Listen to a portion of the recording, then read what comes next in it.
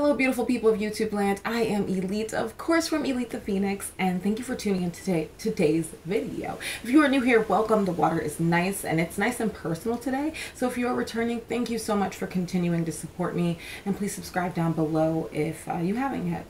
So this video is very personal. I think I'm going to make a section on my channel called Hi, my name is Elite. And that's just where there will be videos that directly pertain to my own personal experiences. And this is one of those videos.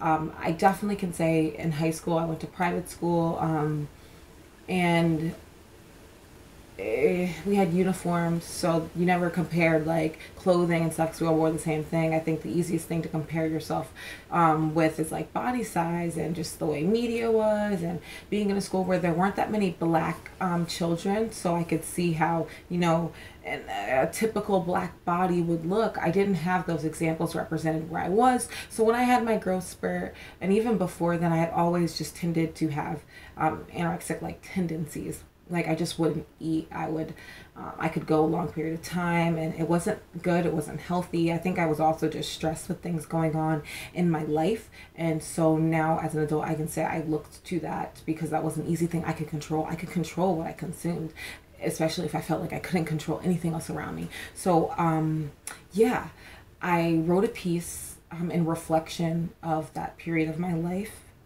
Um, I write um, music, lyrics, you know, poems, spoken word, whatever you want to call it, because I'm just going to say it really.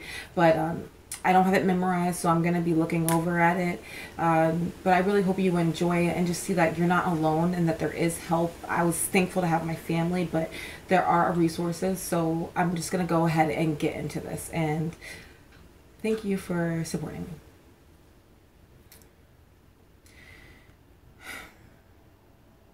Don't eat don't eat. Don't eat. Don't eat. The stream of words, better yet, a command, played through my mind all day on repeat. I had a knack for counting calories, bites, swallows, and the like.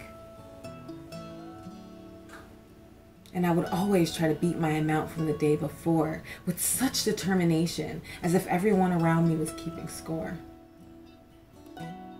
Better yet, if I ate with others and could resist, I just knew I would survive this imaginary game of survival of the fittest. Sad part is, I wasn't fit, physically or otherwise. No matter how many times I looked in the mirror, I always told myself I could go down a size. But God had another plan. He made sure that if I was determined to not eat, that I would be fed by another's hand.